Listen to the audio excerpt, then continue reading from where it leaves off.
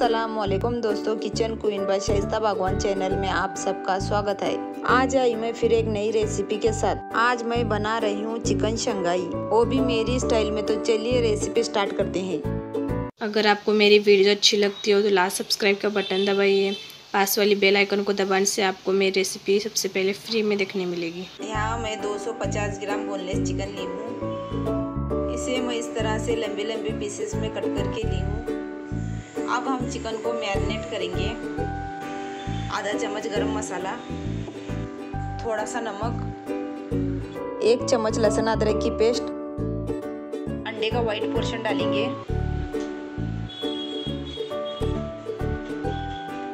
दो चम्मच कॉर्नफ्लोर इसे हम अच्छी तरह से मिक्स करेंगे।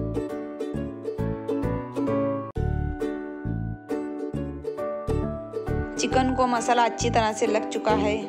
इसे हम 10 मिनट मैरिनेट के लिए रखेंगे। 10 मिनट हो चुके हैं, चिकन अच्छी तरह से मैरिनेट हो चुका है। यहाँ मैं एक कढ़ाई में ऑयल गर्म होने के लिए रखी हूँ। ऑयल हमारा अच्छी तरह से गर्म हो चुका है। अब हम इसमें चिकन के पीसेस डालेंगे।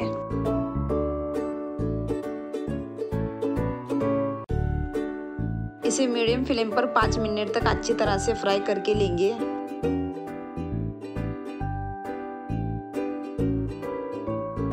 चिकन के पीसेस हमारे अच्छी तरह से फ्राई हो चुके हैं। अब हम इसे प्लेट में निकाल के लेंगे। यहाँ एक पैन में मैं दो चम्मच ऑयल गर्म होने के लिए रखी हूँ। अब हम इसमें एक चम्मच ग्रीन चिली सॉस डालेंगे। एक चम्मच रेड चिली सॉस आधा चम्मच सोया सॉस, आधा चम्मच विनीगर, दो चम्मच टमाटो केचप, आधा चम्मच सफ़ेद मिर्च पाउडर, एक चम्मच ऑर्गेनो, एक चम्मच चिली फ्लेक्स, आधा चम्मच कस्तूरी मेथी। इन सबको अच्छी तरह से मिक्स करेंगे। इसकी फ्लेम हम लो रखेंगे। तीन चम्मच कॉर्न फ्लावर आधी वाटी पानी इसका हम घोल बना के डालेंगे।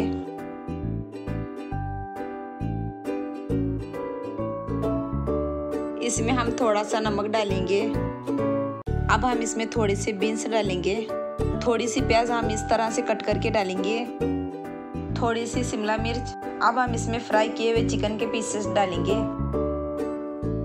इन सबको हम अच्छी तरह से मिक्स करेंगे। अब हम इसमें एक चम्मच काली तिल डालेंगे। इसे भी हम अच्छी तरह से मिक्स करेंगे।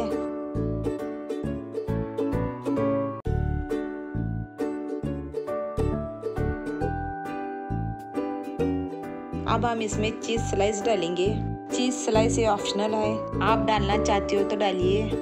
इसके ऊपर हम थोड़ा सा ऑर्गेनो डालेंगे। थोड़ा सा चिली फ्लेक्स डालेंगे। इन सबको हम अच्छी तरह से मिक्स करेंगे। चिकन शंघाई हमारा बन चुका है, अब हम इसकी फ्लेम बंद करेंगे। चिकन शंघाई स्टार्टर डिश है। ये खाने में बहुत ही लजीज लगता है।